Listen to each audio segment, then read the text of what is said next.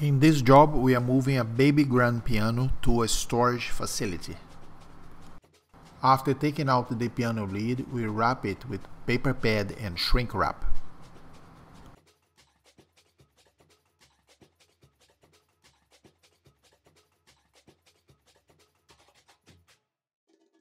Next, we remove the music support and box it up.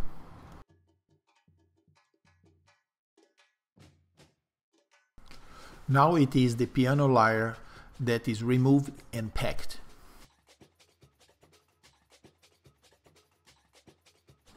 The piano lyre and legs will eventually go in a big box for safe transportation.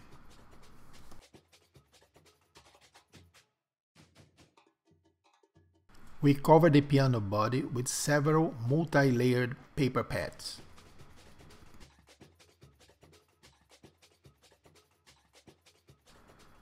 We are using paper pads and cardboard instead of moving pads because the piano needs to stay protected inside of the storage unit. A heavy-duty layer of shrink wrap will be applied to keep everything in place. As an additional precaution, I will put a final moving pad to reinforce the piano side, which will be in touch with the flooring.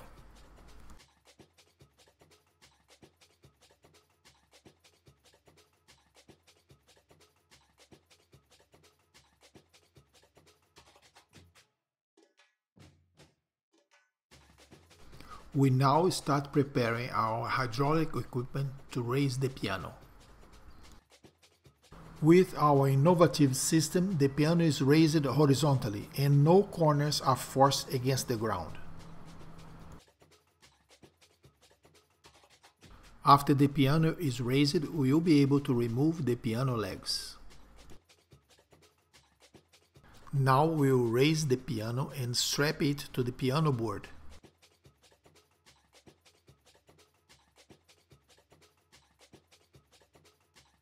Now that the piano is on its side, I put an additional cardboard to protect the bottom.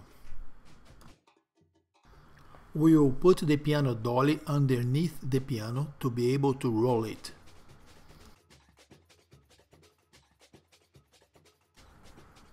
There it is, ready to be rolled to the truck.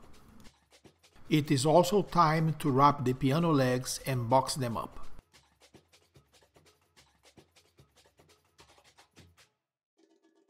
We always box up the piano bench, lyre, music rack and legs.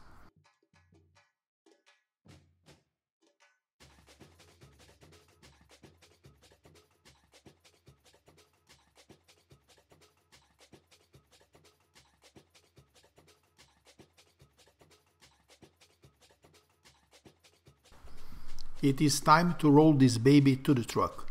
The three of us will go just in case. Now at the storage place we position the piano.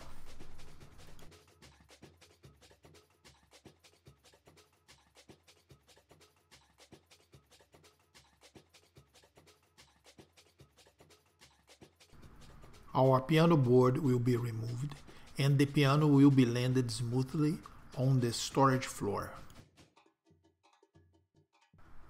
I consider myself a happy person. I love what I do and I like to do it well done.